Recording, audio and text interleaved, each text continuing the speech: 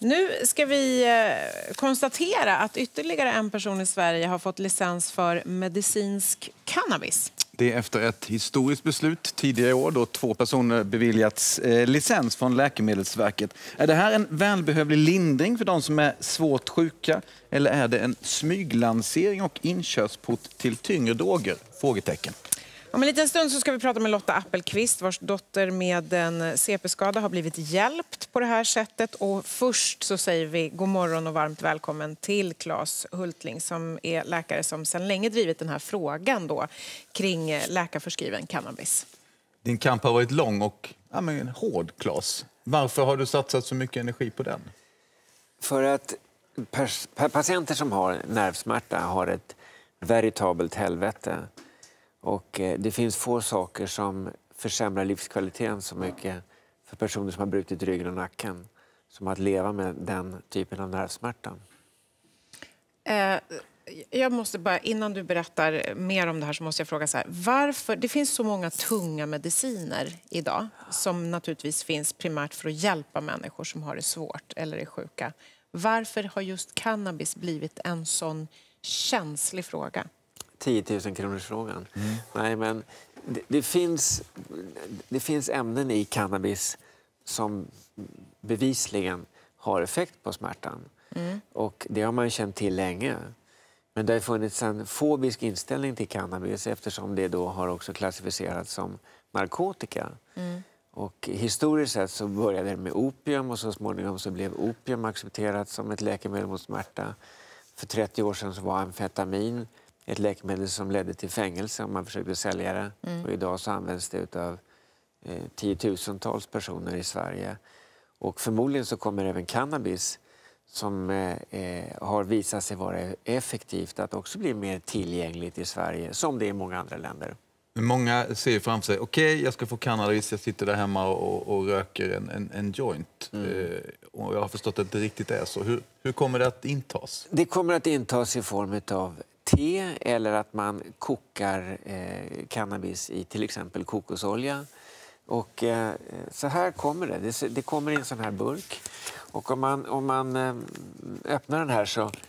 så eh, det här kommer från ett företag i Holland. Och så bara, eftersom jag bara har en hand så mm. måste jag använda tänderna. Men för att alla ska förstå att det här inte är fejk så är det så här det ser ut. Va? Och, eh, det här är fem gram. Eh, och eh, ja, vad ser det ut som? Oregano eller timjan. Men det är ju inte det. Det är ju inte oregano eller timjan. Nej, det, det är det ju här, en drog. Det här är, eller drog. Det här, det här är egentligen en naturprodukt som kommer ifrån eh, cannabisplantan. Mm. Och det här kan man göra te på. Det här kan man göra brownies på. Det här kan man koka olja av. Det här kan man också man kan administrera oljan i en kapsel vilket många tycker är då ett eh, renare sätt att, att ta medicinen. För man överlåter ju trots allt till patienten, i det här fallet, att, att bereda sin egen medicin. Och den här bero, inkörsport till ett beroende, hur, hur, hur ställer du dig där? Nej, det, här, det, här, det, det intressanta är att det här innehåller då THC och CBD. Och THC är det som gör att man blir hög om man, om man till exempel röker cannabis.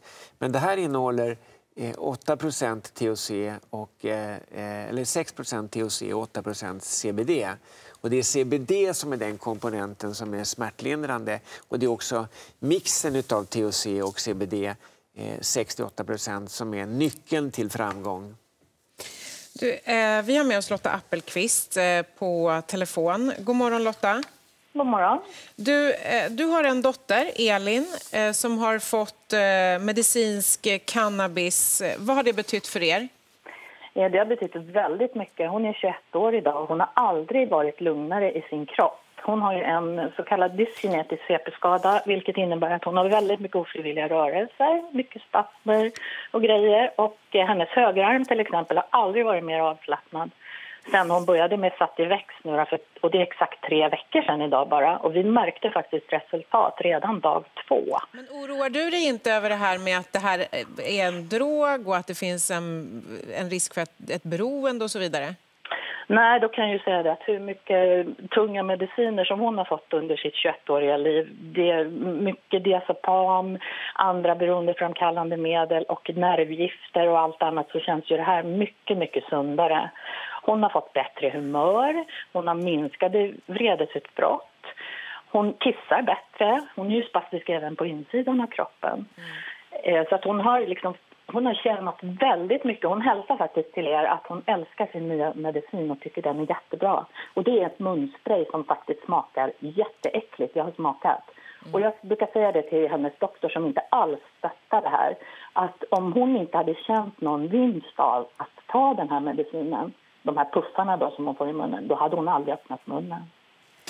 Hälsa tillbaka till Elin och tack Lotta för att vi fick prata med dig om hur det funkar i er familj med den här medicinska cannabisen som nu alltså tre stycken människor i Sverige har fått licens för. Eller tillbaka till dig Claes och säger tack så mycket för att du kom hit och, och gav din syn på saken. Vi ses säkert igen i, i samma fråga. Mm. Vi får se hur det blir i framtiden. Stort tack så länge.